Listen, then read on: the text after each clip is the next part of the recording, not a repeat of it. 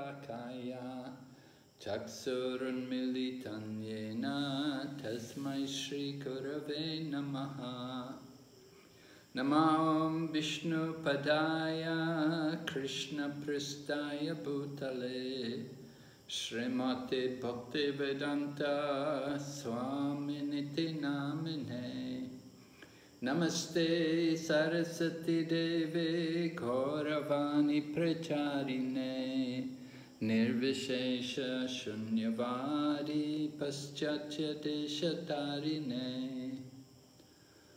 वंशकौपातरुभ्यश्च कृपसिन्धुभयेव च पतितनं भवानेभ्यो वैष्णवेभ्यो नमो नमः।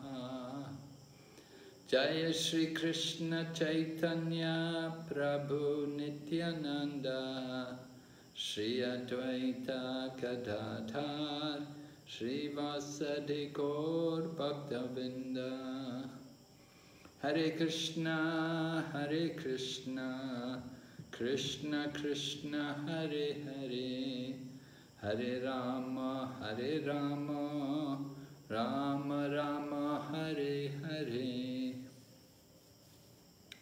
So we welcome everyone to our uh, study of the Srimad Bhagavatam at the level of Bhakti Vaibhav and we're on the fifth canto, the section on Vedic cosmology. This evening we're going to go chapter 22 and maybe into chapter 23 also. Uh,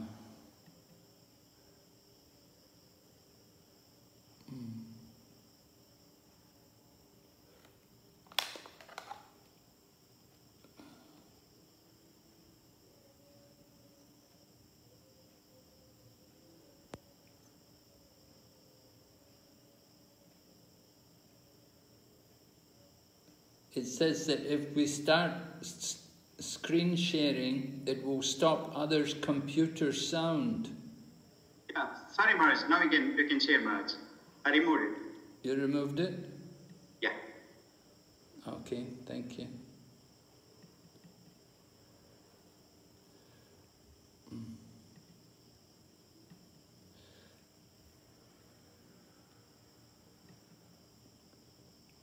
Okay, so let's see.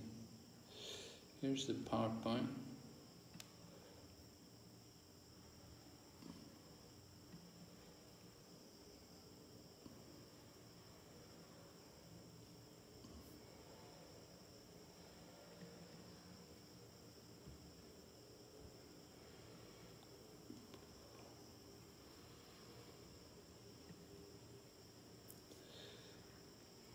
Okay, so Vedic cosmology. So we were hearing about the, the movements of the sun, and we were, we were establishing the principle which is uh, taught here in Srimad Bhagavatam, that the sun is not in the center of the, the sun is not central, although it's central and vertical in the universe, it's not that everything is rotating around the sun. Rather, the planets rotate around the earth rather than the sun. So it's geocentric rather than heliocentric, right? We want to establish that the sun is traveling, moving. It's not that everything is moving around the sun, but the sun is moving itself. The earth, however, doesn't move. The earth remains on Bhumandala. So we were hearing about the orbit of the sun, how it visited the uh, Pushkara Dweep, and in Push Pushkara Dweep, remember, on Bhumandala there are seven dweeps, in the very center, there is Jambu Dweep. And on the very outside is Pushkara Dweep. Right? We have Jambu Dweep, and then next island is called Plaksha Dweep. And then we have, uh, after Plaksha Dweep, then it's Kusha Dweep, and then Kroncha Dweep. Oh, oh, Salimant, Salimati Dweep is after Plaksha Dweep, then Salimata Dweep, and then Kusha Dweep, and then Kroncha Dweep, and then Sat, Sata Dweep, and then the final out one is Pushkara Dweep. And in the middle of Pushkara Dweep, running around the mid, the, right through the center of Pushkara Dweep, in a circle, you have Manasottara mountain. And the sun god rides his chariot round the Manasottara, Manasottara mountain. And he visits the different demigods who have their homes in the north, south, east, and west on Manasottara mountain. So the sun god moves around Manasottara mountain and it creates day and night in different places as he travels. So we have the orbit of the sun in that way, going around Manasottara mountain, and the sun god riding his one-wheel chariot, one wheel on the Manasottara mountain, and, and it's the other axle is fixed on at Meru, at the summit of Meru mountain. So from Meru mountain to the Manasottara mountain gives us some idea, very, it's thousands of yojanas, many, many yojanas. And the sun god is there riding his chariot around the Manasottara mountain, creating day and night as he goes around the Manasottara mountain. And we heard how he's worshipped, how there's so many different uh, demigods all helping him and assisting him. Right, here's our diagram. Here's the cross section of the Bhumandala with Meru Mountain in the center. And over here on this side, we have the different islands and the four residencies here on either side, right? So you saw that before. Then we spoke about the Uttarayana and the Dakshinayana, the sun rising and the sun setting. The moon also moving. All the planets are moving. These are vertical motions. But they also have their horizontal motions. The earth, however, fixed, not moving. But the sun is moving, the moon is moving, Rahu is moving. So, Uttarayana, Dakshinayana, that creates the lengthening and shortening of the days. You know, from Makar, Makar Sankranti then the sun starts to travel north. So it's Ut Uttarayana, Uttarayana, and with the sun traveling north, the day becomes longer and the night shorter. And when it's traveling south, going to the south, then the day becomes shorter and the nights become longer. So this is all explained from these diagrams.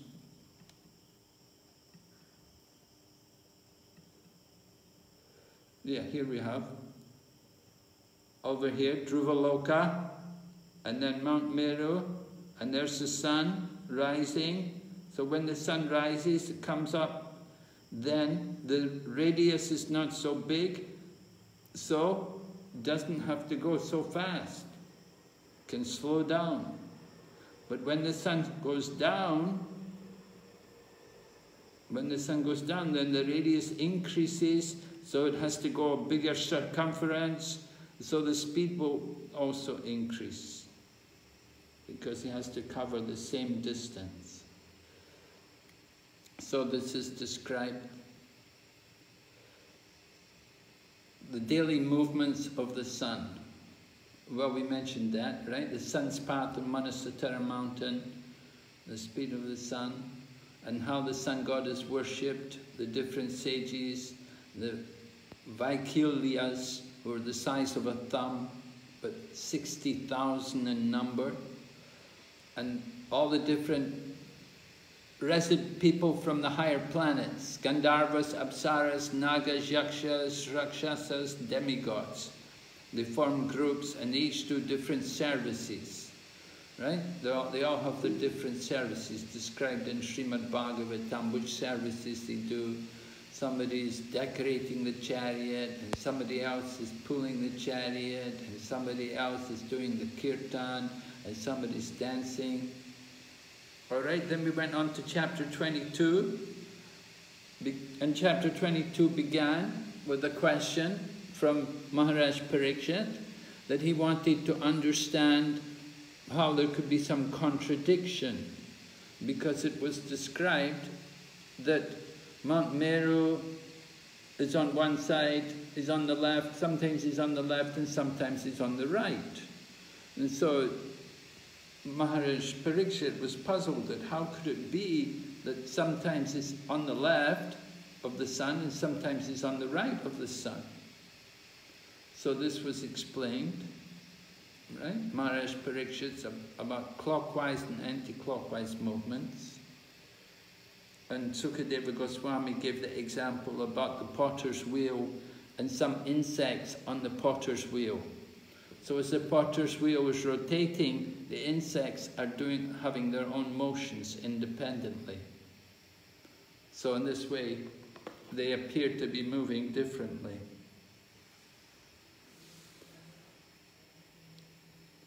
We'll just read some of the notes here. There is no contradiction since there are two separate movements, the movement of the time wheel and the individual movement of the planets. So the time wheel, the Kala Chakra, is like the potter's wheel. And the individual movements of the planets, they're like the insects on the potter's wheel. So separate movements, right? You have the Kala Chakra moving, and you have the individual movements of the planets also. But the, the planets are also on the time wheel, but they have the, at the same time their own individual movements. So the time wheel is carrying everything. The sun moves from east to west in the sky from our point of view. But in relation to the zodiac and other stars, the sun appears to move from Aries to Taurus and other signs in the opposite direction. Thus the sun, moon and other luminaries move in a clockwise direction on daily basis. But with respect to the time wheel, they move in a counterclockwise direction and seem to be entering different zodiac, zodiac signs at different times. Okay, so this has to be this has to be understood how they move. They appear to be moving into different areas. So studying these different signs, that the positions of the different zodiac will affect everything. The situations and the nature of the environment and the climate and everything is affected according to the positions of these different zodiacs and the nakshatras. They are, they're all very significant in what's going on in the world situation when we have some famine or when we have some disasters, just like now we're in the middle of an ongoing pandemic for some years, and I'm sure the astrologers can relate it all to the positions of the different planets, and not only the planets, but also the nakshatras and the signs of the zodiac, right? So that's the point, that the these stars and nakshatra, these uh, planets and everything, they're there to actually arrange for the enjoyment and also the karma of the people. So here it mentions the Lord, as the sun god, arranged the seasons.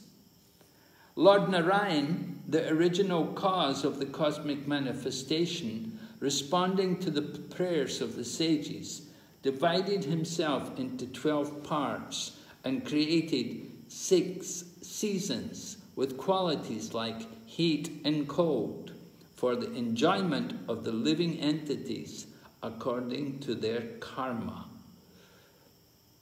So this is stated in Srimad Bhagavatam that the Lord divided himself into 12 parts.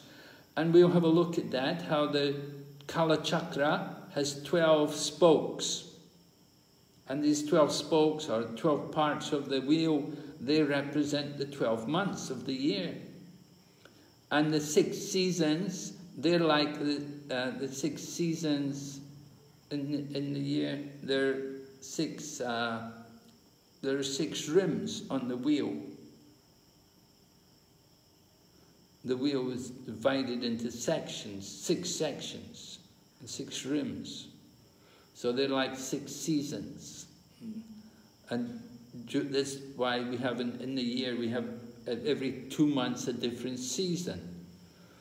Just now, it's still pretty much the heat of summer, but in a very short time, the rainy season is going to come. Maybe another week or more, the rainy season will begin. And with the rain, of course, then the, the, everything will cool down quite a bit. And that will encourage the farmers also, they can do a lot more farming, plant more rice, and so on, like that. People are pretty busy just now, they're getting ready for the rainy season. People all want to get their land planted, take advantage of the rains. And after the rainy season is gone, which rains will be a couple of months, and then you have the autumn. And then there's a different season. Then cools down a bit, but then heats up a bit more. You get a bit a bit warmer than the, than in the rainy season. In the rainy season be so cloudy, sometimes you'll never see the sun for a few days. So it can become a bit cooler, but then the autumn comes and then the weather becomes a bit warmer. Not quite like the summer, but still a bit warmer. And then after autumn, then the winter, like that. So every two months, the climate changes. So this is arranged for the enjoyment of the living entities according to their karma. So according to their karma, some people are enjoying and some are suffering. Just like some people enjoy the heat and some people enjoy the cold. People who come from a very cold climate, they find it unbearable to be in the heat. They cannot tolerate so much heat. It's very difficult for them. And people from, a, from the hot climate, they have a di difficulty with the cold. So people are all, everyone's suffering and, and enjoying according to their karma. The note says, the Lord, oh wait, did I share the screen? Yes, Maharaj, your screen is shared. Oh, good, oh, good. You can see everything then. Okay, there's a note here. The Lord, famous as time, divided himself into 12 forms and six seasons for purifying the activities of the people. So, different points to note here. The Lord, famous as time. So, that Kala Chakra, that is actually Krishna himself. That is Krishna, manifestation of Krishna's potency, as Kala Chakra. Krishna says in Bhagavad Gita, Time I am, destroyer of the world, and I come to claim all people. So this Kala Chakra, on which the, uh, the zodiac is rotating, and, and also the nakshatras, they're also moving with the Kala Chakra. And the planets are also, they're on the Kala Chakra, although they have their own independent motions. So the Lord, famous as time, divides himself into 12 forms, 12 months of the year, and six seasons for purifying the activities of the people. People often speak about purification, but they often do not understand that we have to, we have to change the activities. If we want to be purified, it depends on our activities. According to how we act, we can get purification. If we act in the wrong way, we're not going to get purified. So the activities are very important. So the different seasons, they help, to, they arrange for the different activities of the people. People meant to recognize different seasons, different functions to be observed in different seasons. Just like we know uh, there's, there's auspicious times for doing different things, be, coming up to the harvest, the people will they'll make sure it's a good time for the proper time to plant the ground, the proper time to harvest. So everything's done in proper time, regulation. That's, of course, taking advantage of scriptures, to be guided by scriptures. So that's purifying, purification by the activities. People, they, we want purification the easy way. They think, just touch me, just touch me, put your hand on my head, that will purify me. But what really purifies us is the activities, not just some sentiment that you, or you touch the feet of the sadhu, or the sadhu puts his hand on your head. What is really purifying is when you change the activities and we act in such a manner to really purify ourselves. So this means by manifesting himself as the time wheel, the Kala Chakra Gata, the Lord regulates and purifies our activities. So certainly by the influence of time, our activities are regulated and hopefully they will also be purified. Number four, worshipping the Lord in Varnashram. By following Varnashram Dharma and worshipping the Lord as the Sun with faith, by yoga and by regulated activities, people can easily attain the highest goal. So, again, Varnashram Dharma, important, recognizing our duty. We have some work to do with Varnashram Dharma, it means working. doesn't mean being idle, it means doing different, taking on different responsibilities. And worshipping the Lord also as the Sun. There are many demigods, and the demigods are all ordinary living entities. But the Sun is a very special demigod because the Lord himself comes as a sun. The Lord himself comes as a sun to, uh, because he's the king of all planets. So worshipping the Lord as the sun with faith by yoga and by yoga, that's, we heard about yoga is for health, regulating the breathing and uh, different activities which are regulated activities, yam and niyam. So these are all for purification activities which purify us. Then the months according to the sun. The sun, the soul of all worlds, passes through the 12 signs of the zodiac and takes on 12 different names. One month is two fortnights by lunar calculation, or the time for the sun to cover 2.25 constellations and a day and a night for the Pitris. Two months constitute a season. So this 2.25 constellations, this comes about because you have, in the, in the signs of the zodiac, you have 12, right? The, the, the zodiac is made up of clusters of stars. And these different clusters of stars often resemble different creatures. Just like one of the signs of the zodiac is Leo. Le we often say Leo the lion, right? So it's in the form of a lion. so it's called Leo.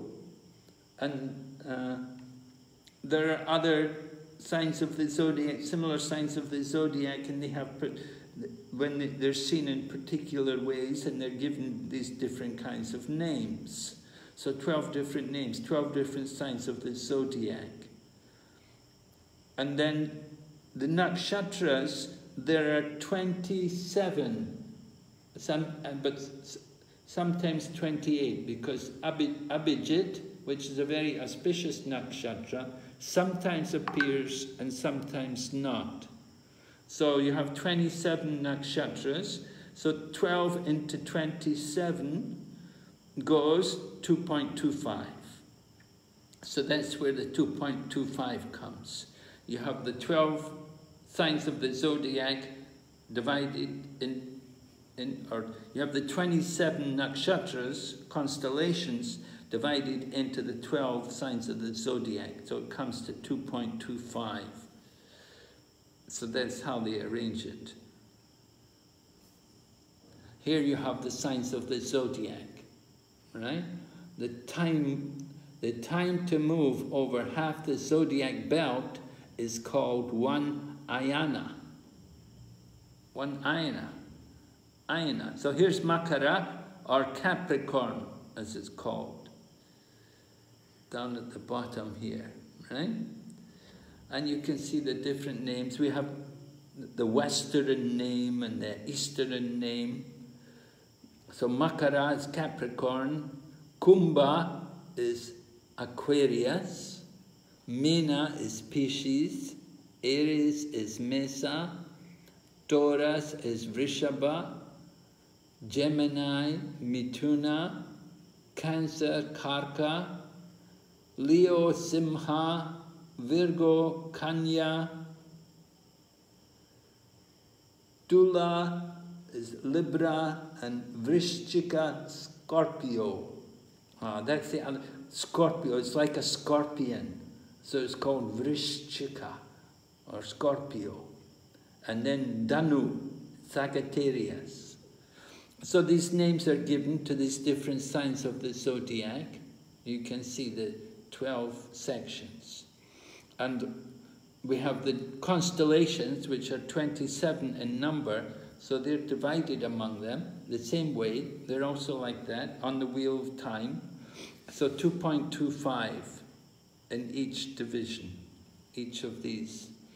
Each one of these sections is the one, one wheel is 360 degrees, so 12 into 360 is 30 degrees. So this is 30 degrees, right? This one, one period, one period of the, um,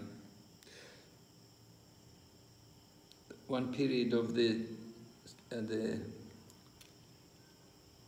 uh, Zodiac. Zodiac, thank you, Prabhu. Well, yeah, one period of the zodiac, 30 degrees, right? Okay. So, as the wheel turns, then we go through these different signs. The wheel is turning constantly from the beginning of Brahma's day to the end of his day. Endlessly, the wheel is turning. And the, the, the uh, zodiac signs and the constellation, they're also moving with that Kala Chakra. So it brings about different changes. So some more points are made. Five names of the year. The, the time taken by the sun to pass completely through the antariksha. Antariksha means the cosmic space. It's the space between uh, when you're going up on the northern way up to the top of the universe, if you're going up, from Bhumandala, it's the space which is there after Dhruvaloka going up to the higher planets. So this is called Antariksha. And then you have the earthly plane and the heavenly planes. And sometimes the sun moves slow, sometimes quick, and sometimes medium. So three speeds and in different planes which it passes through. So it has these different names. Samvatsara, Parivatsara, Idavatsa, Anuvatsara, and Vatsara. Note, the 12 zodiac signs, such as Simha and Tula, get their names based on the form manifested by a group of stars representing that sign. For example, if a group of stars are arranged in the shape of a lion, then the sign is called Leo or Simha Rashi. Rashi, right? Rashi is the what we would say in India, in the in India culture, in Hindu culture, you'd say Rashi. In the West, they simply say signs of the zodiac, but they're called Rashi. So everyone has, huh? everyone has a particular Rashi, influenced by a particular Rashi. Number eight, the moon's position and movement. The moon, situated 0.1 million yojanas above the rays of the sunshine, travels at a speed faster than that of the sun with relation to zodiac. It covers the sun's year in two fortnights, its month in two and a half days, and its fortnight in one day. So the moon travels fast, high speed.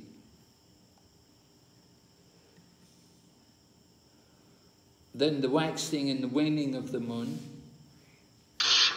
the moon, the moon creates day for the demigods during its waxing period and creates day for the Pitris during its waning period. So the demigods take it, they like the daytime for their activities. Then Pitris, the meaning the forefathers, there they prefer the dark time of the day. So the waxing period the moon is waxing, getting bigger and bigger, growing and waning. It's getting weaker and weaker and weaker. So that's when time for the pitris. So we can see the, the, the days divided into two. That the bright side of the moon is for the demigods, and the dark side of the moon is for the pitris. So the moon that supports the life of all beings passes through one constellation in 30 muhurtas, one day. The one constellation, 27 constellations, right?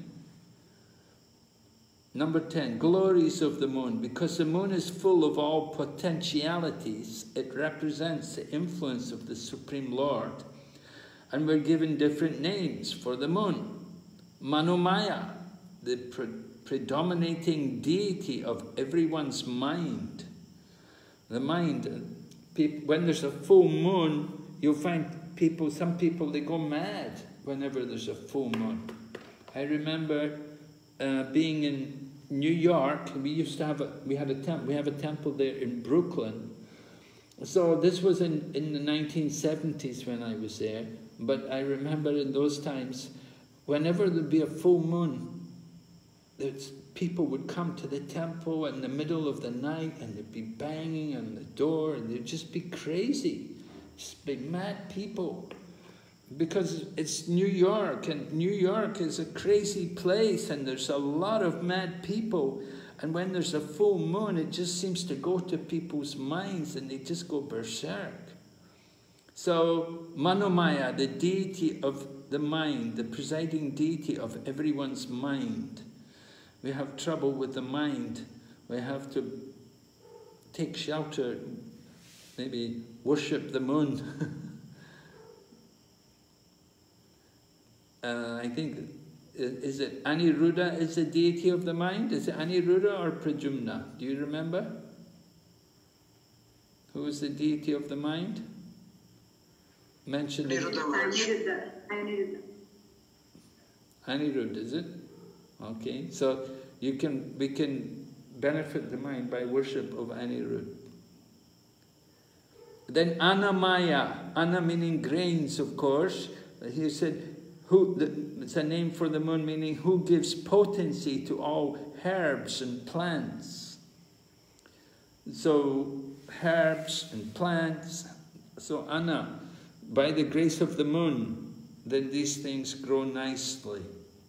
It's important. If there was no moon, there would be no taste in the vegetables, no juice, and these, these herbs and plants would not be able to grow properly. Then Amrita Maya, Amrita meaning nectar, but meaning also Amrita, not dying, mean deathless. So the source of life for all living entities. And Sarvamaya, one who pleases, he pleases everyone. The nature of the moon, he pleases everyone. Demigods, pitris, human beings, animals, birds, reptiles, trees, plants. Wow, so many, and all other living entities. So this is, you can see the, the glories of the moon. It's really very wonderful that everyone takes advantage of the moon and they enjoy the benefits of the moon planet. So we wonder how could the sun be the king of all planets? It seems like the moon is greater than the sun here, reading about the qualifications of the moon. But the sun is considered the king of all planets because the moon is a jiva. One of his names also is jiva. But the sun, the sun god, this is the sun god and he's the expansion of the supreme personality of Godhead. So that's the difference the, the sun is not an ordinary jiva like the moon. Number 11, the 28 constellations headed by Abhijit. Abhijit, right? When the auspicious planet Abhijit comes, that's a time, that was a time for, is it, was it Lord, Chait, Lord Chaitanya appeared at the time when the Abhijit star appeared? Remember Mother said she was pregnant and she'd been pregnant for a long time and it, it, was something like 13 months before she delivered her child.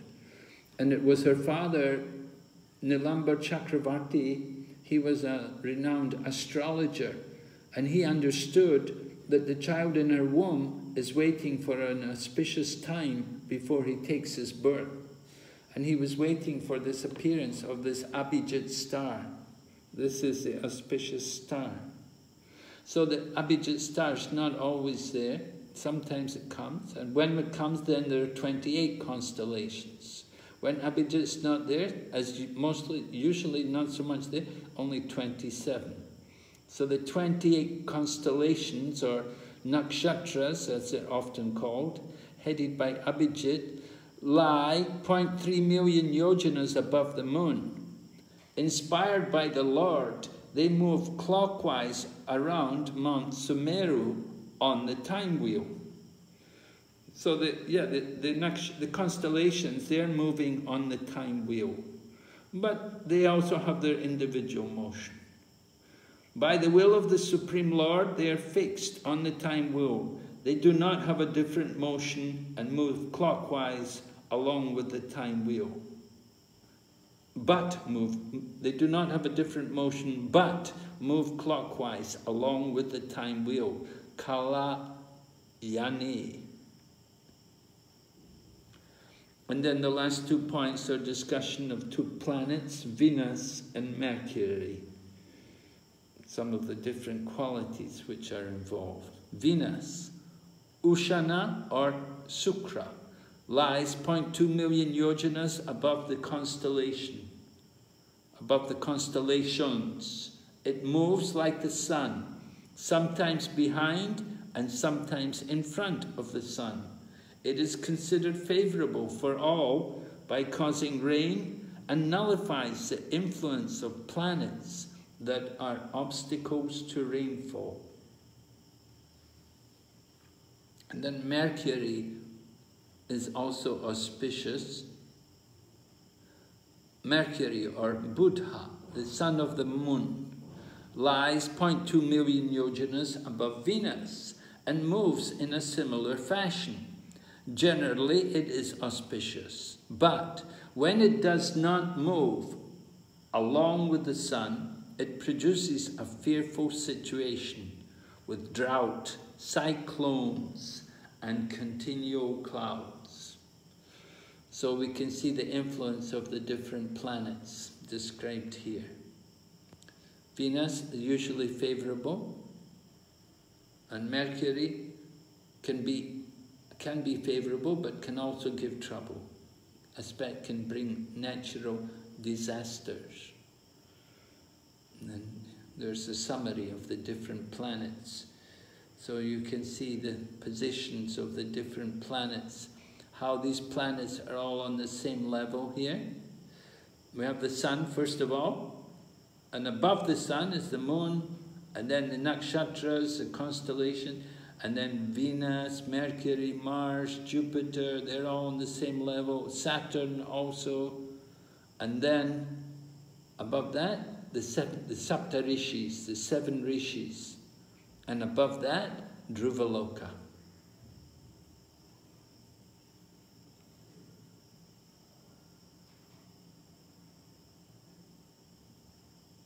And then the height with respect to the sun is shown here.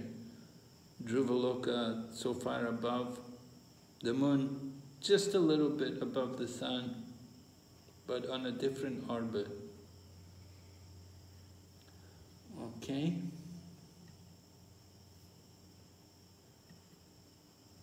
So, we have some presentation. I want to show you something. Uh, let's see.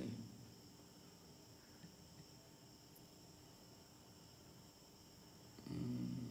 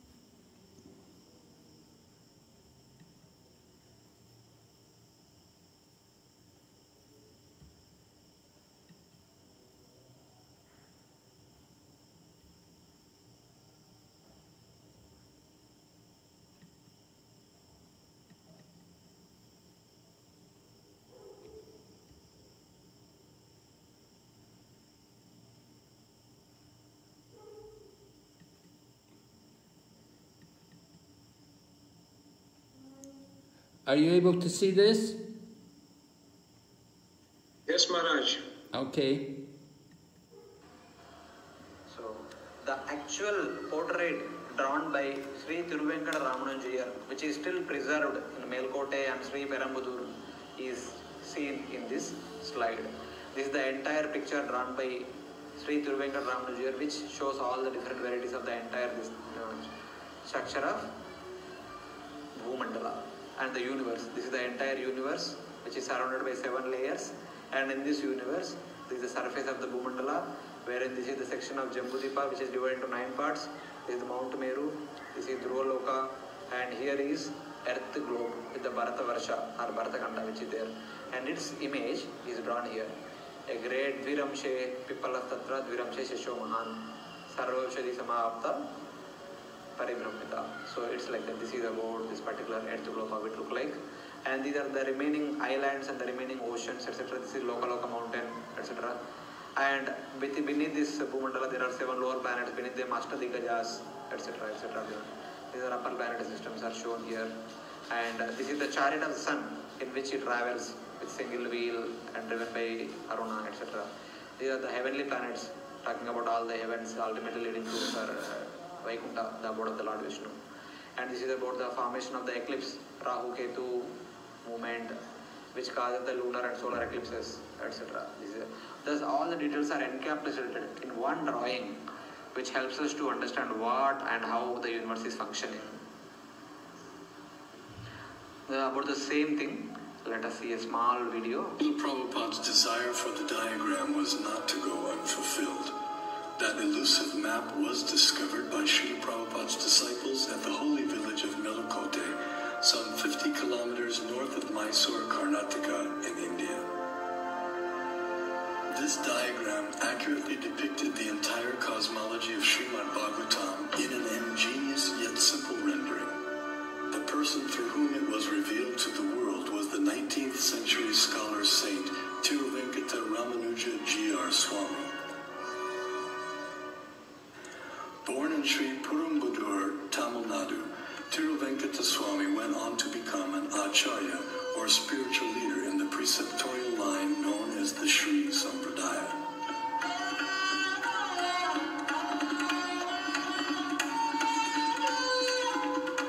He spent several years of his life in Melakote, which 900 years earlier had been the residence place of Sripad Ramanujacharya, the most prominent acharya of the Sri Sampradaya. At Melakote, in the thousand-year-old temple, Tiruvenkata studied and taught the Vedas and also worshipped the deity of Tirucheluva Narayan.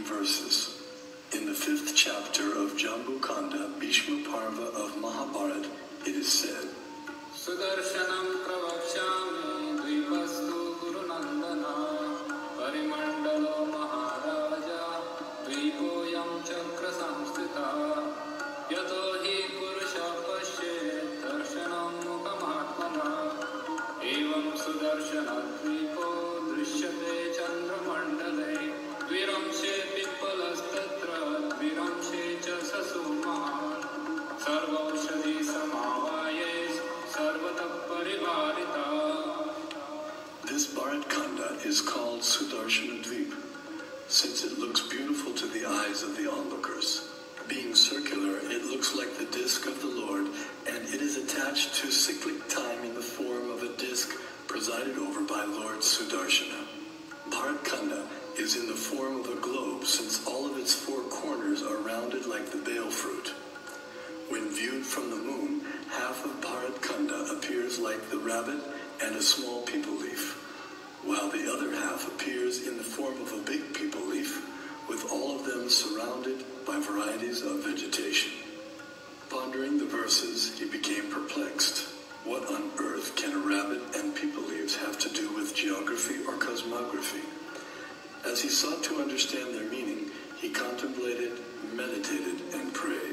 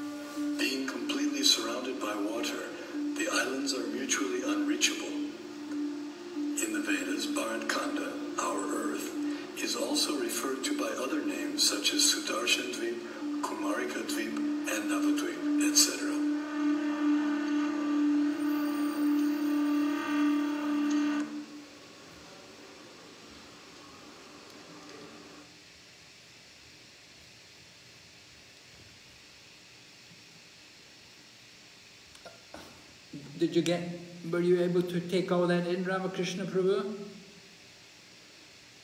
Uh, yes, Prabhuji, yes, Maharaj.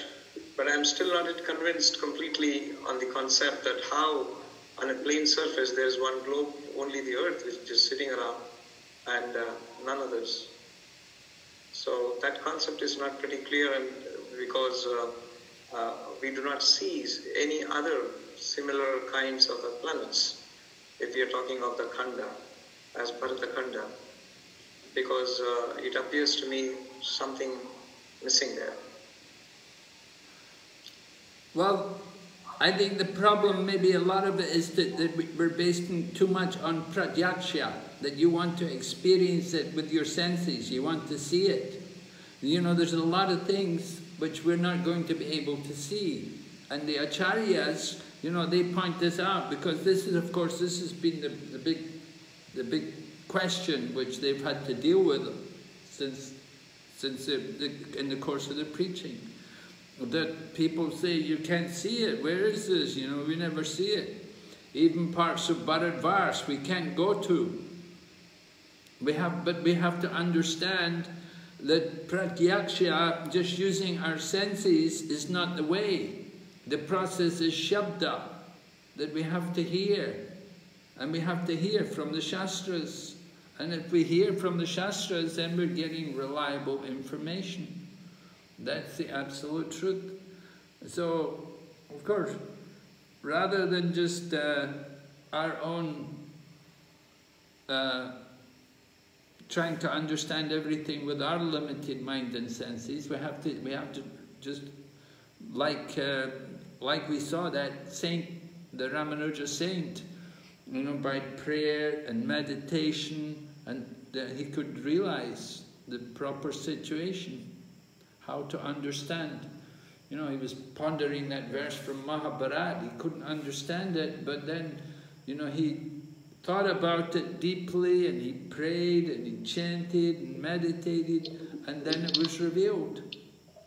Everything it, it came clear to him just by turning the picture around. He could see.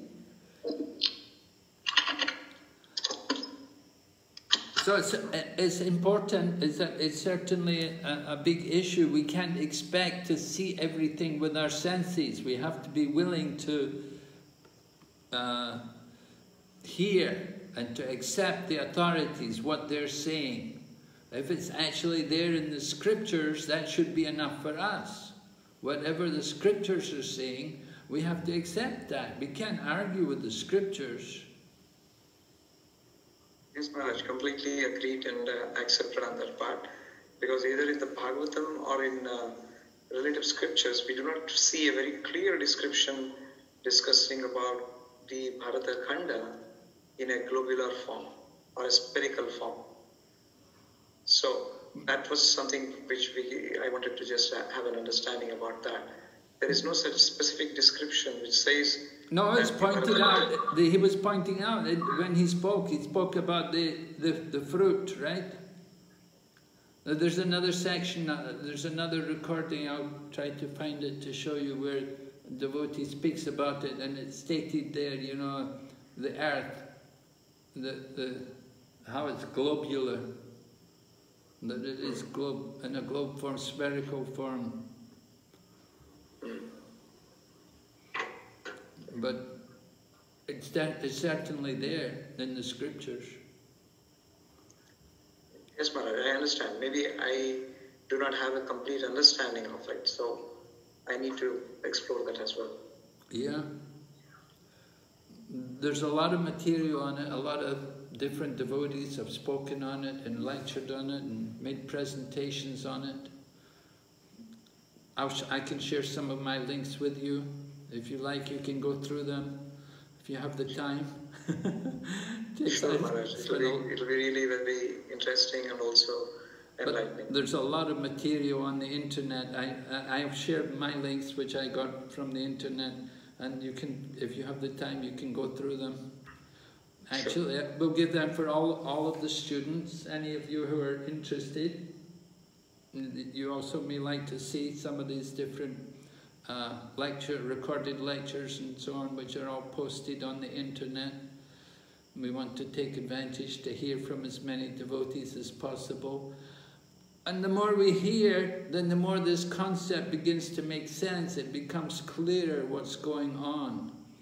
And they have a lot of evidence to support it as well. You know, there's so much. I was telling the other day about Tulsi Das, how he was describing Hanuman going to the sun, and the dist- Hanuman thought the sun was some playful, bright object he could play with. So he described the distance to the sun, and the distance which Tulsi Das gave is supported by modern scientific evidence. And there's a lot of different explanations. You know, modern science, they always have to adjust their thinking and their explanations. But the Vedic philosophy, it remains the same. It's unchangeable, it's absolute, infallible. The truth is there. We don't change Krishna's message. Krishna spoke, it's all revealed. hmm So anyway, the concept of Bharatkanda was definitely there. You were doubting that, but it's there. He says it's in Mahabharata, it's in the Vishnu Puranas, it's all there. And, and so there's so many things, you know, we may not know, but you know, we have to understand that uh, something must be, that, that there's some, it's all truth there. We just have to go deeper and uh, do a bit more research on it, and it can all be revealed to us. I, some of the some of the sampradayas, we see the Goswamis don't seem to have written too much on this. The Goswamis, I told you, like Sanatan Goswami in Brihad Bhagavatamrita, he described about going to the upper planets, about going to Janaloka and Mahaloka and Tapaloka and Satyaloka, and then going into the impersonal Brahmajyoti, and also going through Shiva Loka, uh, um, Kailash and meeting Lord Shiva, and then he went into Vaikuntha, and he went to Mathura and Ayodhya, and then he went to Goloka. So that's all there. But they didn't mention about Jambudweep. He didn't mention, the Goswamis don't seem to have written much about this, about Jambudweep and Bhumandala. But certainly it's very well established and very important information, and it's recorded here.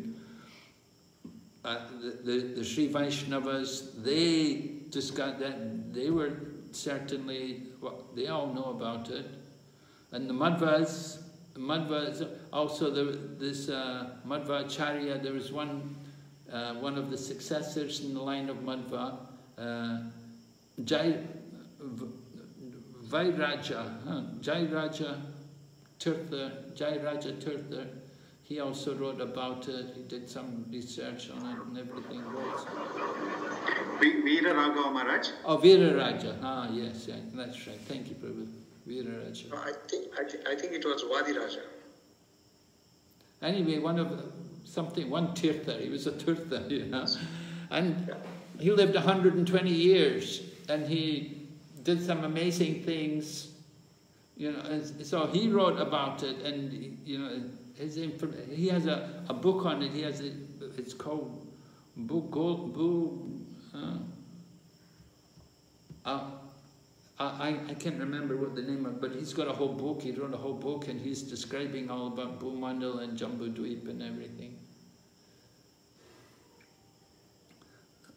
And the information is all just the same as we're presenting. So certainly the, the Sri Vaishnavas, the Madhvas, and I was saying Sringeri, they had the chariot, the sun god's chariot there with the one wheel up there in Sringeri. So they're also aware of it. They also know about Bhumandala and the sun god and everything. And Prabhupada, wait, there's, I'll show you the film about where Prabhupada, uh, I have another little film here. I'll just try to find it.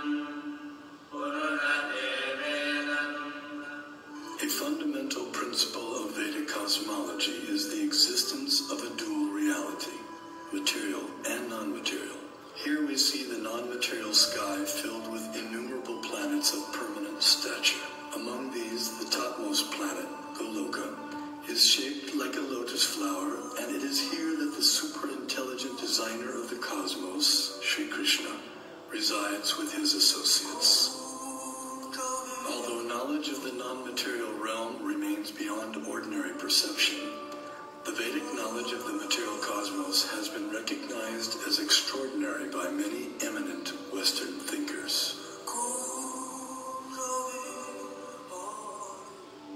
As in Hindu mythology, it is a continual dance of creation and destruction involving the whole cosmos, the basis of all existence and of all natural phenomena. Long before it became a scientific aspiration to estimate the age of the Earth, many elaborate systems of the world chronology had been devised by the sages of antiquity. The most remarkable of these occult timescales is that of the ancient Hindus. Indian cosmologists, the first to estimate the age of the Earth at more than 4 billion years, they came closest to the modern ideas of atomism, quantum physics. To the philosophers of India, however, relativity is no new discovery, just as the concept of light years is no matter for astonishment to people used to thinking of time in millions of kalpas. A kalpa is about 4,320,000 years.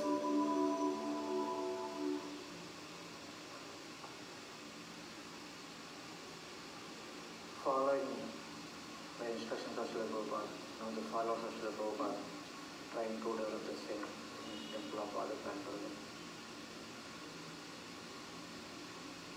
Okay. That's it.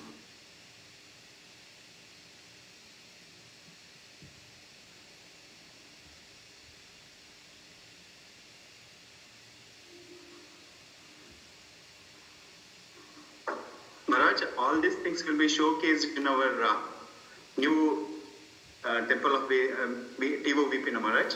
Yes, that's the plan. Yes. This is all, they're all, they've been working on it for many years.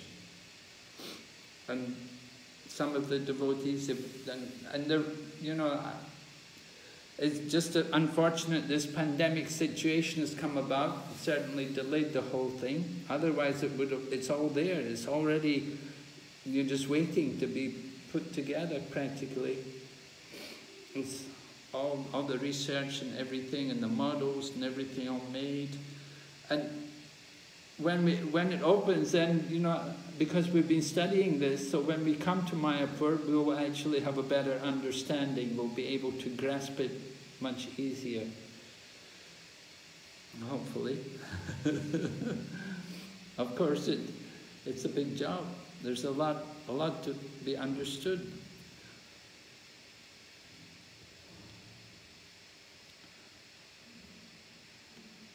But it's very, very interesting, very important for us to be familiar with these things.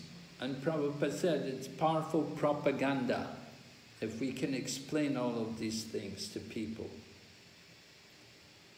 Of course, to ordinary materialistic people, it all just sounds, oh, you know, this is just some fairy tale.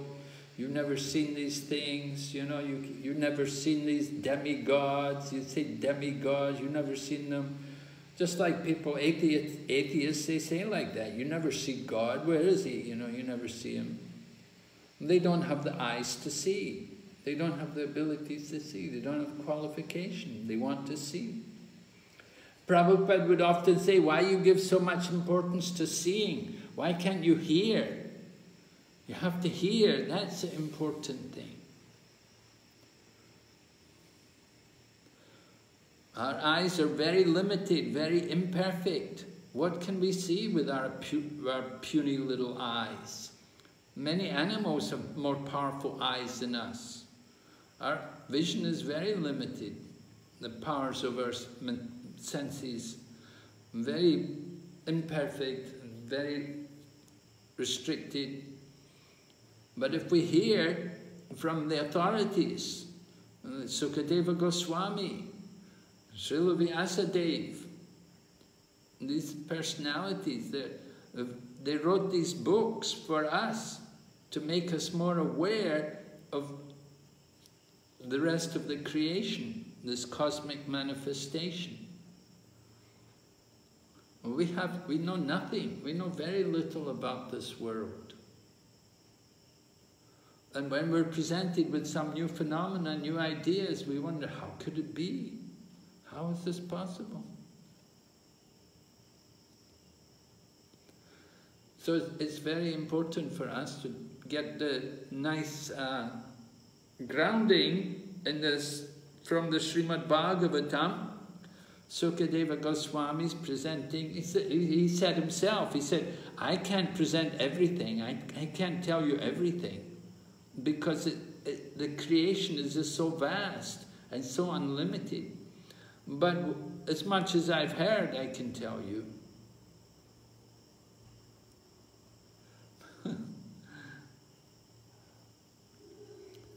so Krishna consciousness is really something very special, very unique. And as we go on more and more, there's so much more to be learned, so much more to be understood. There's no limit. We should never think, oh, now I know everything, now I've learned everything. There's always so much more. And so many things beyond the power of our mind and senses. So we have to hear. And we have to really pray. As, as, as they were saying, there, there's, a, there's a subtle creation. Beyond the gross manifestation, there's a subtle creation. And to enter into that subtle creation, you have to, we have to purify ourselves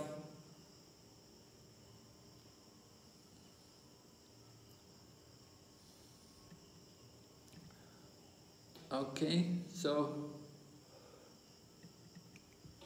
let's see, where are we?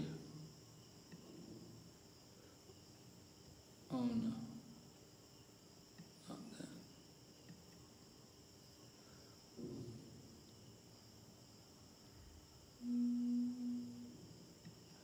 Srimad Bhagavatam. Okay.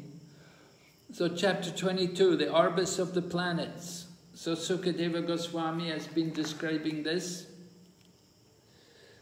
He answered the question of Maharaj Parikshit. He satisfied him. Okay, text number four describes about the system of four varnas, four ashrams, and worshipping the Lord, Narayan, who is situated as the sun god worshipping the Supreme Personality of Godhead according to ritualistic ceremonies handed down in the three Vedas, such as Agnihotra, higher and lower fruitive activities, mystic yoga.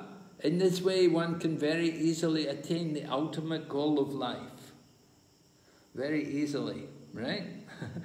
Is it easy? Not so easy. Prabhupada said, chanting Hare Krishna. He said, I said, process is simple. I never said it would be easy.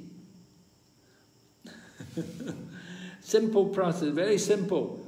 Said, he said, I never said it would be easy. Here it said, they very easily attain. They very easily attain because they did all of these things. They followed all of these higher and lower fruitive activities. They did Agnihotra and they practiced the process of mystic yoga. So because they were doing that, so then the, the results come very easily. So if you follow the process, you get the result. As we were saying, the activities are very important. You want to get purified, we have to act in a manner to get purified. It's not just get some cheap blessings. Then text number five, the sun god, who is Narayan or Vishnu, the soul of all the worlds, is situated in outer space between the upper and lower portions of the universe. The sun god's in the middle of the universe on the vertical scale and Meru Mountains in the middle of the universe on the horizontal plane. So passing through 12 months on the wheel of time, the sun comes in touch with 12 different signs of the zodiac and assumes 12 different names according to these signs.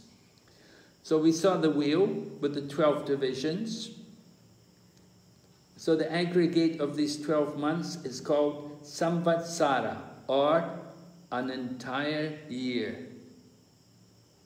And according to lunar calculations, two fortnights, one of the waxing and the other of the waning, make one month. So that same period is one day and night for the planet Pitriloka. According to stellar calculations, a month equals two and one quarter constellations. So I, I, I explained that 27 constellations into 12 signs of the zodiac, 12 signs of the zodiac go into the 27 constellations and you get two and a quarter. So when the sun travels for two months, a season passes. 12 months, six seasons, so two months each season.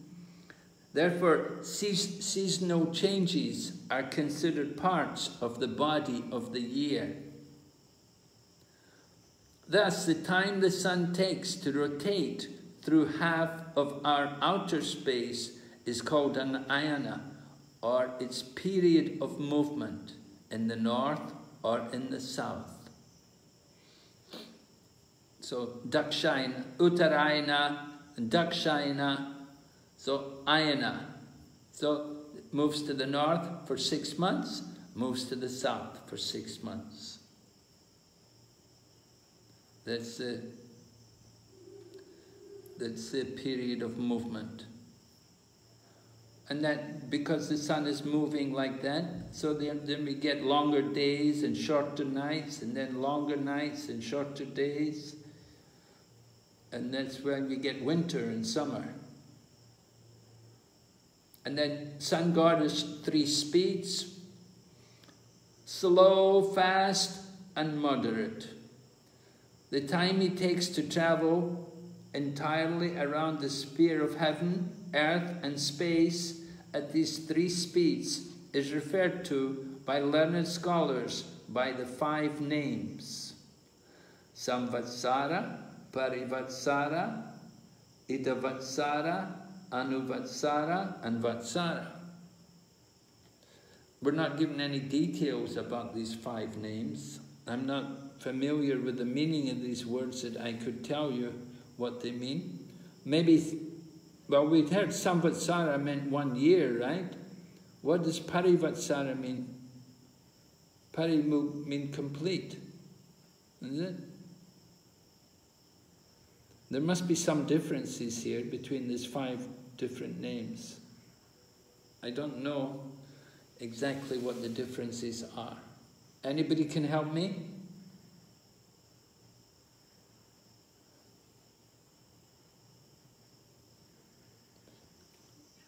Hare Krishna Maharaj. Yes, Prabhu. The three speeds, which is referring here as slow, fast, and moderate, is uh, referring to the circle what the sun actually does uh, because of the pull of the wind from the Dhruva Loka. Vertically, there is a displacement. When the longest of them is the earthly rotation, and the intermediate rotation is for the Bhuvar Loka, and the above is the Swarga Loka. So, uh, during the Swarga Loka, it's the fastest and uh, the slowest is on the earthly level. So that's how the three speeds are done. And according to that rotations, these five different names are given for the same period of year. For the same what? For the period of year.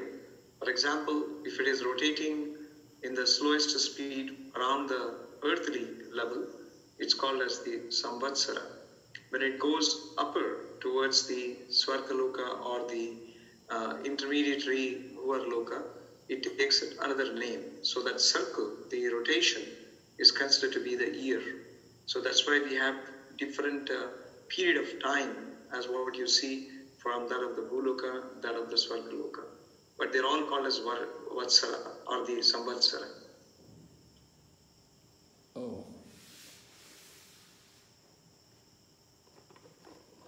Okay, so that's interesting, very interesting. So could you explain that again about the five different level, about why there are five different names? Yeah, even though there are three different speeds that is mentioned, and they are given the five different names because there are also intermediary levels, so which is uh, covered. If you remember, you had shown us a slide in which you said that there are 180 circles. Yes. In which the, in which the sun actually moves around. So these 180 circles are concentric, and they are from the center of the circle. They are extending outward. That means if the sun focuses on the innermost, he would rotate at much uh, what you call a slower pace as compared to what he would rotate when he's in the extremely the uh, on the peripheral circle. So the circle is referred to as Vatsara. So there is a time period difference, or what we say, from that of the inner circle to that of the outer circle.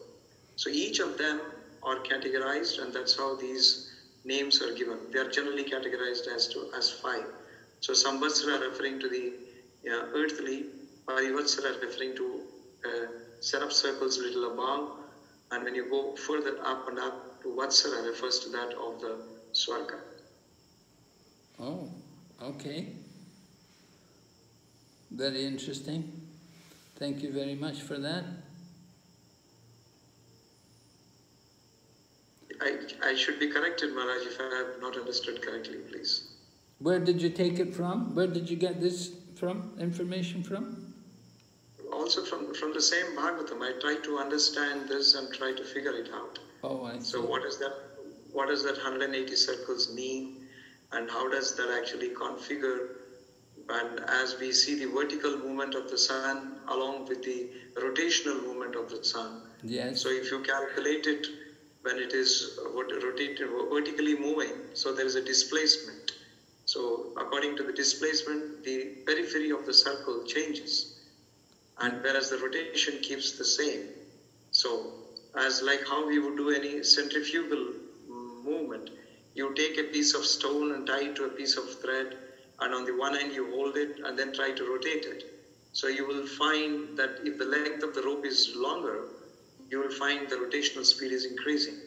And when it comes to innermost, it reduces. So the same concept is used here. Ah, okay. Yes, very nice. Certainly makes sense, everything you said. So it's also mentioned that there's a sixth Samvatsara, but because that Samvatsara is extra, solar system is calculated according to the five names. Yeah. So when the Abhijit comes in... this is because of the difference in motions between the uh, lunar and the solar. This, uh, the moon is on an upper circle, so his peripheral radius of rotation is smaller. Uh-huh. That means circumference what moon covers is smaller as compared to that of the sun, since he is in the outer periphery. Yes. So there is a difference. Moon rotates the circle faster. The same point, if you talk of the same point by which the sun rotates, Uh-huh. moon is much faster. That's how we understood it even in the previous verses. Yes. So when, when we talk of a calendar of a, uh lunar or a solar, there the to try to match the uh, the Vedic calendar with the Georgian calendar, this adjustment has been made. That's why you have one, like how we have a leap year or how we have the Adhika Mas is exactly the same that is being referred here. Okay.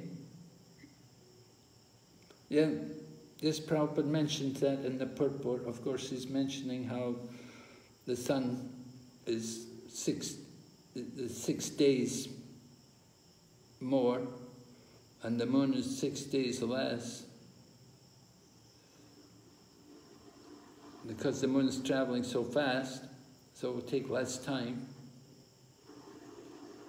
So the difference between the sun and the moon is 12 days.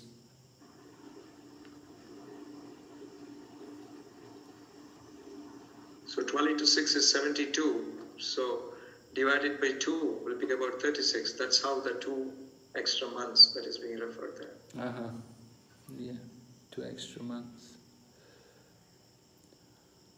But I was understanding it's only we only have like one extra month. It's like the Purushottam Mas, right? It's once every three years.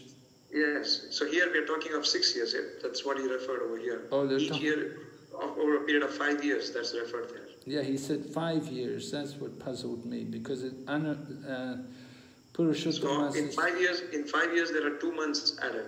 So in every fourth year, as what we see, one month is added. That's what it means. okay. Every fourth year, one month is added. The fourth year we add one month. That's why we get the Adhik Mas. But five years, two months. Yeah, it's, it's a rough calculation. It's it's not precisely the go by that particular figure. It, it's very, in fact, it's in decimals to say. Uh-huh. Okay. Anyway, that's what they're talking about, though, the Purushottam Masa, right? Yes, yes, And in the Western calendar, they try to adjust it with the leap years. yes. But but it's once every four years, you have a leap year. Yeah, the fourth year is the leap year. So three years passes, the fourth year is the leap year. Right, 28 days in ordinary years and 29 in the leap year. So Yeah. just, they just had on one day in the Western calendar, one day in the four years. Okay, so interesting information here. Thank you, Prabhu. Very helpful for us. Thank you, Maharaj. Okay, go, going ahead, text number eight. Above the rays of the sunshine by a distance of 100,000 yojanas is the moon, which travels at a, a speed faster than that of the sun. In two lunar fortnights, the moon travels through the equivalent of a samvatsara of the sun. In two and a quarter days, it passes through a month of the sun and in one day it passes through a fortnight of the sun. Prabhupada gets into discussing about the modern science, about their calculations. Modern scientific calculations are subject to one change after another, and therefore they are uncertain. We have to accept the calculations of the Vedic literature. These Vedic calculations are steady. Astronomical calculations made long ago and recorded in the Vedic literature are correct even now.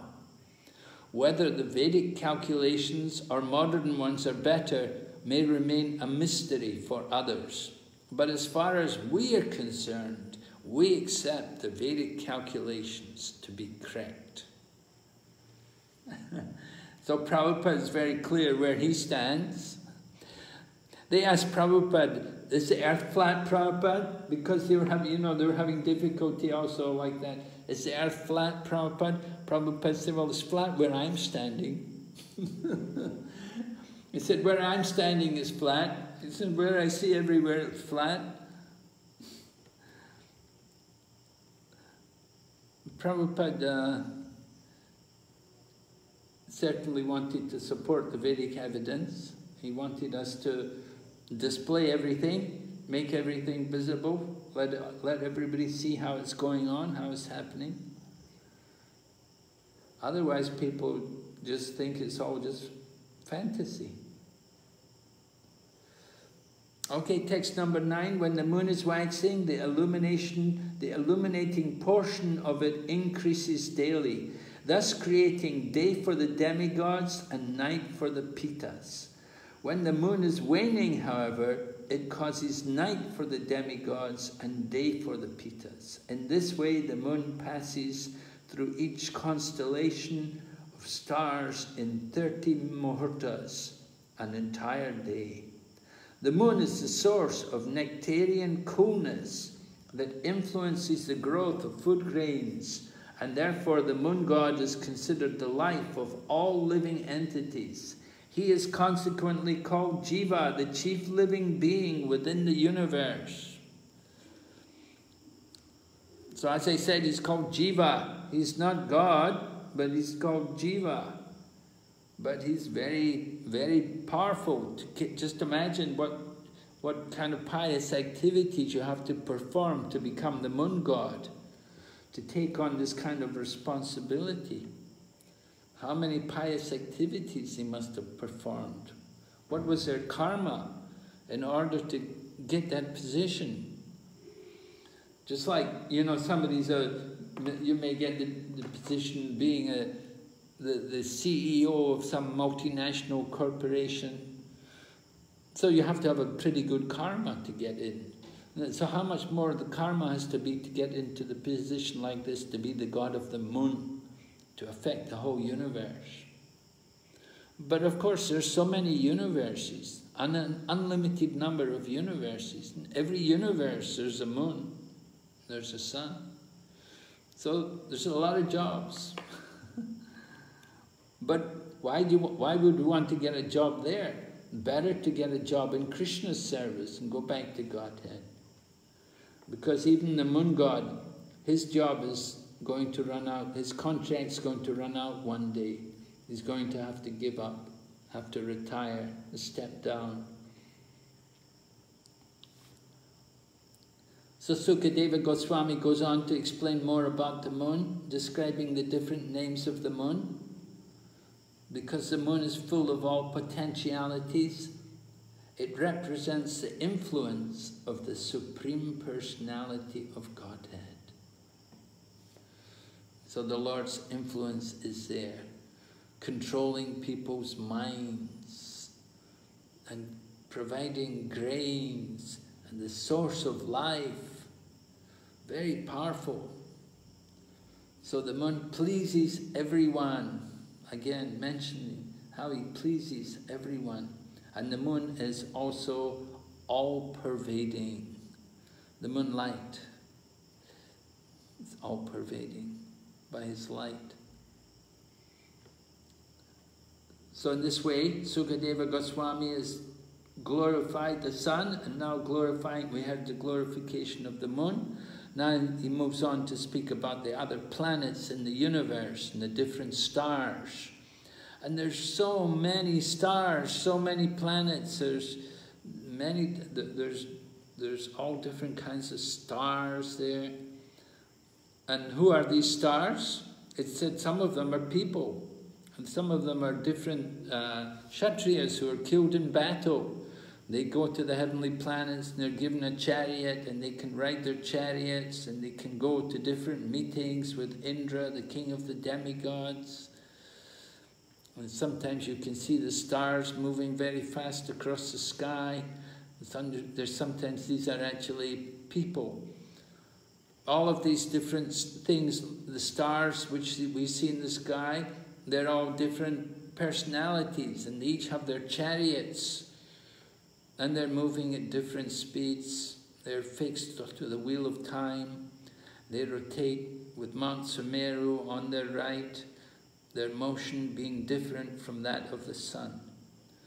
28 important stars headed by Abhijit usually 27, but 28 with Abhijit. So this, these stars, these constellations or nakshatras.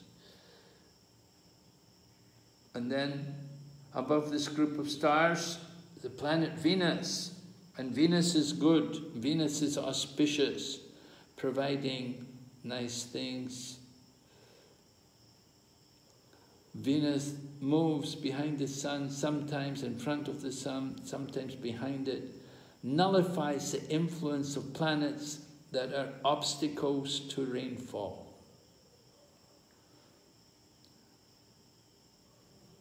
We need rain, everywhere they need rain.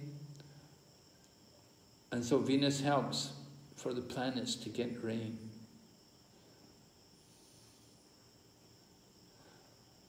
It's considered very favorable for all beings.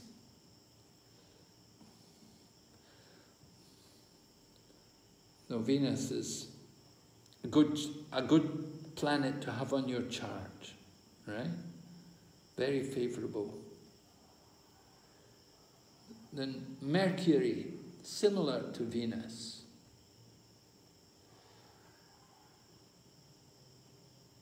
and we're told the, the height above the, above the earth, above the sun, the difference between Venus and Mercury.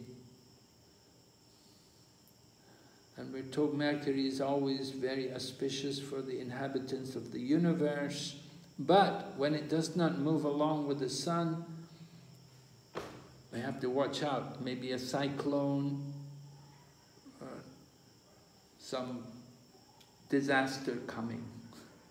One of them is mentioned here, waterless clouds. You get clouds, but no rain. This is a symptom of Kali Yuga again, inauspicious, right? You have clouds, but no rain. So clouds mean no sunlight. You don't get the heat of the sun, you don't get the light of the sun, and you don't get rain either. You just get clouds. Not very good. Cloudy days.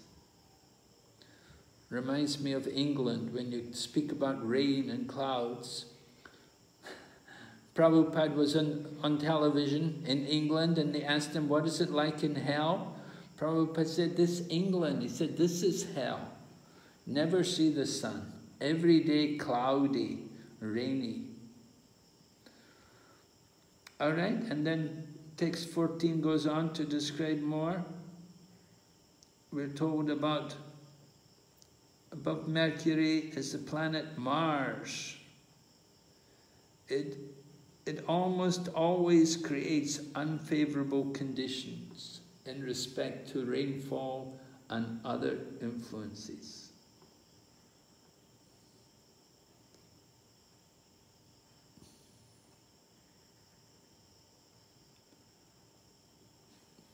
Oh, here it's mentioned about Parivatsara, right? So it says in text number 15, it mentions situated miles above Mars or 10,400,000 miles above Earth is the planet Jupiter, which travels through one sign of the zodiac within the period of a parivatsara. So how did you describe that period of a parivatsara? Yes, Maharaj. This, because as you see here, vertically, uh, Mars is much, much above the Sun and the Moon and the Mercury. So when the Sun travels vertically towards the inner side of the circle, then the peripheral rotation will be decreased. Yes. So here, what we see is that that's what is being referred over here. So Parivatsara is the inner side, is it? Parivatsara, Parivatsara is the peripheral distance, which is called, considered to be, like for example, in, on the earthly level, which we call it as Samvatsara, the periphery is much, much, much bigger. So as compared to the Mars, what we see over here, the Parivatsara, the peripheral circle is lesser. So you find the, the descriptions given, the, the period of the year is considered to be Parivatsara in the Mars, and further down it is Samvatsara. Oh. Oh, so Parivatsara is for, for the higher planets. Yes. Similarly, the intermediate, in between, you have all these five different levels, five different names given for all the different levels. Oh, I see. Uh-huh. So Parivatsara is a higher level, is it? Yes. The, is at the top, is it? No, it's the level for the Mars, and above, for the Swarga, it's Vatsara. Oh. Swarga is above this. Oh. I'm, I'm sorry. Swarga is below this. Mars is on the higher level. And above this will come the Saturn, the next one. So Swarga Loka is below, and the Mars and the Saturn is much higher. Okay. Um, Maharaj, or else can we understand like this? Uh, the time taken for the sun to complete one rotation through the earth, it is called as Samvatsara. Similarly, one the time taken for the sun to rotate one circle of Jupiter is Parivatsara. Can we understand this way, Maharaj? Mars. Uh, no, Jupiter, Prabhu. If you read down, Yeah, this is uh, Jupiter. Jupiter it is. Yes, correct. You're right. So that's right, Prabhu, right? That's correct. Yes. So the, the earthly year refer, I mean the year referred for the Jupiter is Parivatsara, and the year referred to the earth is Samvatsara. Oh, the year referred for the earth to Samvatsara, and the year referred for Jupiter is this Parivatsara. Oh, okay. Oh, so it's good I'm learning. Thank you. All right, and here, here we have Anuvatsara. This is for Saturn. Yes, Maharaj. So, time taken for the sun for one year is Anuvatsara. The entire zodiac circle, oh, it says in 30 Anuvatsaras. Okay, this, well, let's read the whole thing. Okay, it's passes through one sign of the zodiac. Saturn passes through one sign of the zodiac in 30 months and covers the entire zodiac circle in 30 anuvatsaras. 30 months.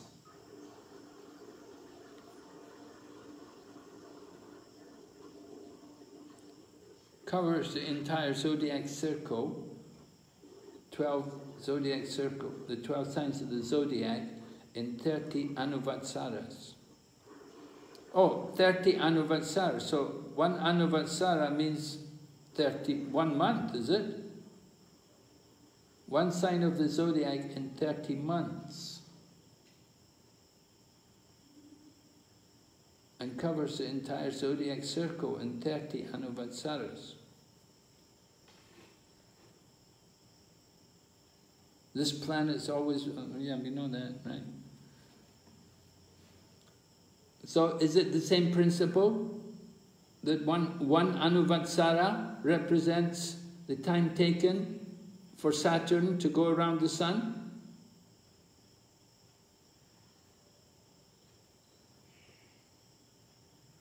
Not to go around the Sun, but Saturn is going, about, is going around the, well, it's going around the, the pole star, is going around the Earth,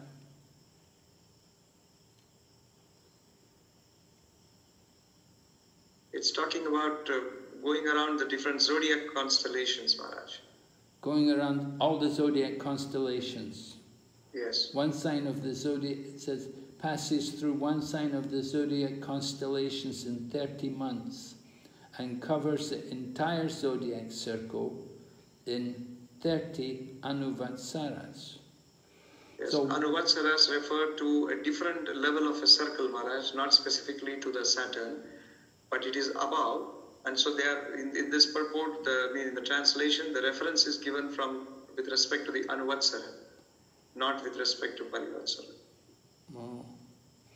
Anyway, one sign in 30 months and 12, there's got to, the entire zodiac circle means 12 signs. So that's Yes. 360 months. Yes. So 360 months is, well, So 360 months is considered to be as 30 Anuvatsaras. That's what it means. okay. 30 anuvatsaras. Yes, so that 30 Anuvatsaras, the, the, the reference of Saturn's circle is not Anuvatsara, it is somewhere much below. But then they are taking the reference of that Anuvatsara to compare it to the movement of the Saturn. No. Oh. Anuvatsara is, is for Dhruvaloka, is it? Or for. No, Anuvatsara is mm, much below Maharaj. As you see the sequence, if you can see there, Samvatsara, Parivatsara, Anuvatsara, then in the previous verses you can see that. Oh, yeah, yeah, yeah. So Vatsara is at the top, right? Yes, correct. So That is for the That's for, Dhruvaloka. for where? For th- that is for Dhruvaloka. Dhruvaloka. Yeah.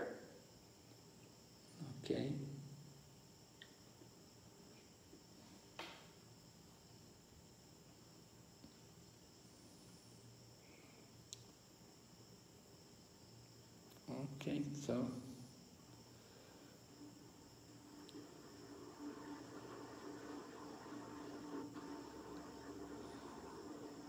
So then you got chapter, chapter, chapter, verse 17 says, situated above Saturn, are 20,800,000 miles above Earth, are the seven saintly sages who are always thinking of the well-being of the inhabitants of the uni- universe. They circumambulate the supreme abode of Lord Vishnu, known as Dhruvaloka, the pole star. So, the Saptarishis are described, that they're residing just below Dhruvaloka, and they're very devoted. They're always circumambulating Dhruvaloka, and they have great respect for Dhruva Maharaj, and they're concerned for the well-being of the inhabitants of the universe. So this is very important. They're very great souls. And we can imagine how they must be thinking for the well-being of the universe just now.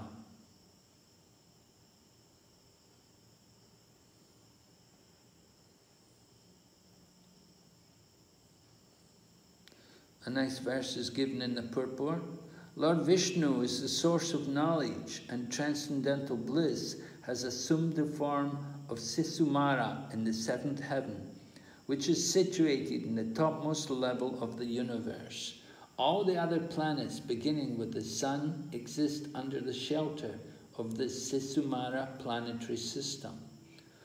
So, of course, that leads us into the next chapter, chapter 23, the Sisumara planetary systems. And we're going to hear how the planets all uh, are arranged in a manner resembling the dolphin, Sisumara, right? The wonderful dolphin creature. And we'll see how the, the different planets resemble the different bodily parts of the dolphin.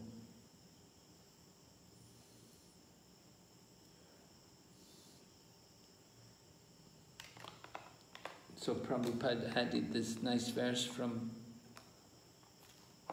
Madhvacharya, or Madhvacharya quotes the Brahmananda Purana. All right, are there any other questions or comments from the devotees?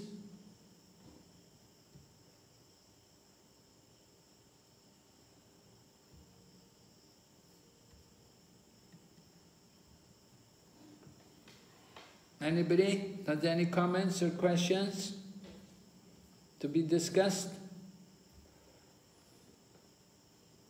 Is it all clear to everyone?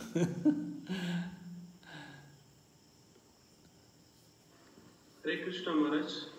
yes, Please Prabhu. Maharaj, sometimes we, we hear or we see the picture that the moon is on the head of Lord Shiva. Is placed Yeah, what's on the head of Lord Shiva? A crescent moon, right? The crescent moon is on the head of Lord Shiva. And it is described in the Krishna book why that was placed on the head of Lord Shiva. Lord, because Lord Shiva, he drank the, the poison, the halahala. He drank that poison which was there. And so because he drank that, his throat became very hot. Whole body became very hot with the poison. You know, the poison very heating. So he was given that crescent moon. The crescent moon was put on his head to cool him, to keep him cool. The moon is cooling, right? The rays of the moon are always cooling. We enjoy in the hot season when the moon comes up, then it's cooling after the hot sun. So the, head, the crescent moon on the head of Lord Shiva was placed there to keep Lord Shiva cool after he drank all the poison. Hmm. Thank you, Maharaj. We have to keep cool-headed also. That's why we shave our heads. There was an interesting pastime in London one time. The woman came, the reporter came, and she had a mini skirt on. And it was a very cold, wintry day. And the woman came in her mini skirt to Prabhupada. And she was asking Prabhupada about why the devotees shave their heads. and Prabhupada explained to her, he said, is said, better to have warm legs and a cool head. He said, your legs must be very cold. He said, you're walking, you're, you're coming here in your mini skirt, your legs are not covered. He said, we have warm legs and cool head. We shave our heads to keep our head, keep the head cool. Better to have warm legs rather than cold legs and a hot head. Hot-headed, right? Passionate, lusty people. So you have to keep the head cool. So Prabhupada always had the devotees shave their head shave the head. People wanted to be initiated, you have to shave your head. You cannot take initiation without shaving the head. Very important. So that's why Lord Shiva, he has long hair, of course. Has that long hair to catch that Ganga in his hair. But he has to, because he drank that poison, they gave, the, they gave him the crescent moon to cool, cool him down.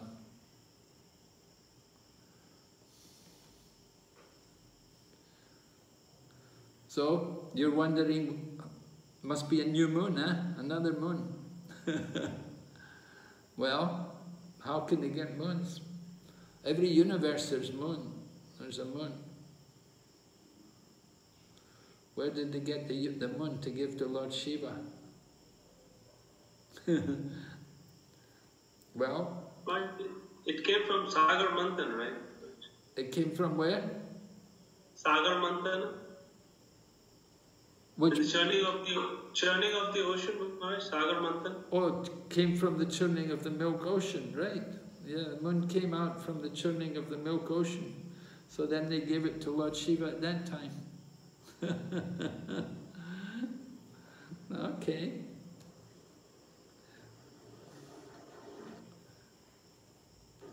Yes? Is that correct, Ramakrishna Prabhu? Is that right? They gave that the milk when the moon came out from the ocean of churning of the milk ocean. They gave it to the head, put it on the head of Lord Shiva. Well, that's not specifically uh, mentioned here in the Bhagavatam, either in the eighth canto. Uh, what what we generally understand is, uh, I mean, the Shaivites they have a different story. I'm not very familiar with that. It doesn't. Yeah, I I I didn't read it in the Bhagavatam. It doesn't say in the Bhagavatam they gave the moon to Lord Shiva, did they?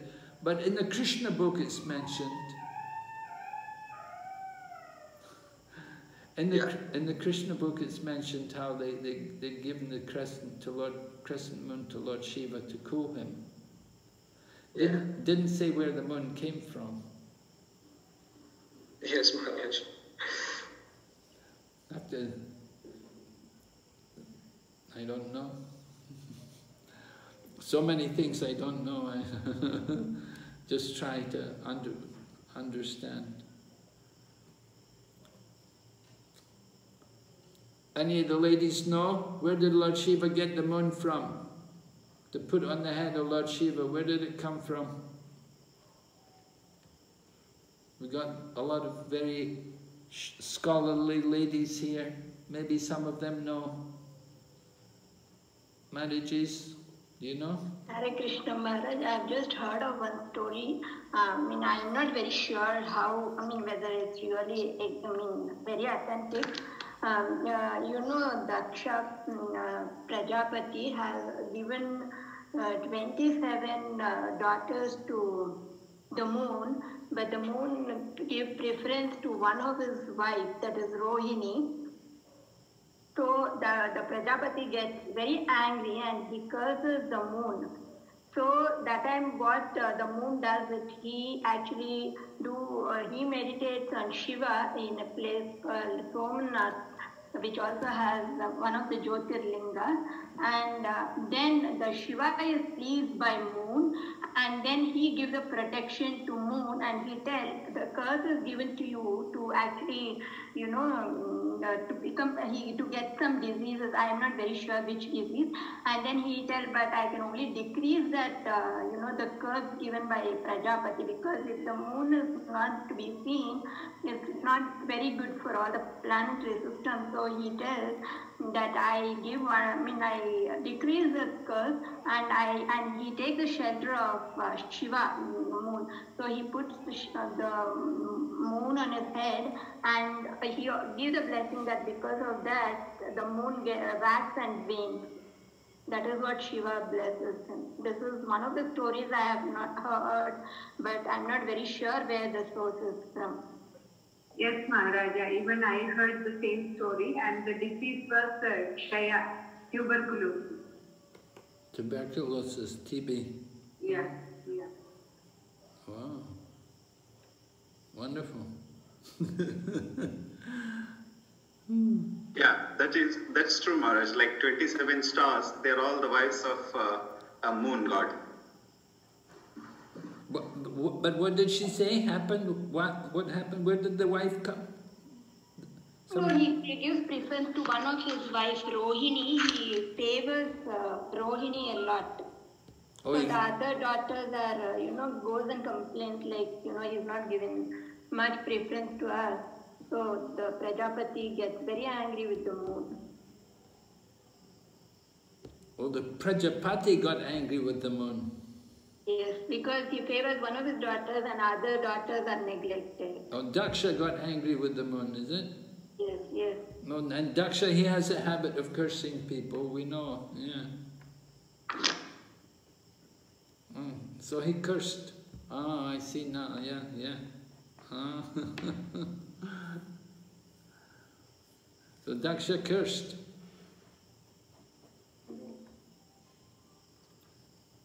Okay, very interesting. Thank you, ladies. Very nice of you. very interesting pastimes. The celestial politics are very interesting, Maharaj. Oh, We find here, we find here that the moon took the shelter of uh, Shiva, and thereby he remained as a crescent.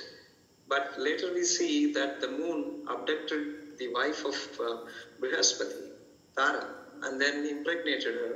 At that time, the war broke, and the demons were on the side of the moon, and the the, the devas uh, they were sighted by Lord Shiva. So on one side there was a shelter, and the other side there was a fighting. it's very interesting. Yeah. Who can understand the minds of the demigods, huh? Yeah. I, I wonder huh, how long he gets to remain a demigod if he goes like, if he does like that, if he fights with the with the followers. But Lord, Lord Shiva, Lord Shiva, of course, he's well, of course, they had that problem, right? The Daksha Yagya, Lord Shiva and the demigods, the followers of Lord Shiva fought with the followers of Daksha. So Shivites, from that time they were cursed that the Shivites would be atheists. And the followers of Daksha, the Brahmanas, those Yagnik Brahmins, they would be practitioners of dull rituals with no meaning. So Prabhupada said both curses are in effect today. Generally the followers of Shiva are atheists and the Brahmins do dull rituals. Alright, so we'll stop here tonight and tomorrow we'll go on to chapter 23, the Sishumara uh, stars. Thank you very much for your association. Srila Prabhupada ki, Gaur Bhakta Vrinda ki jai.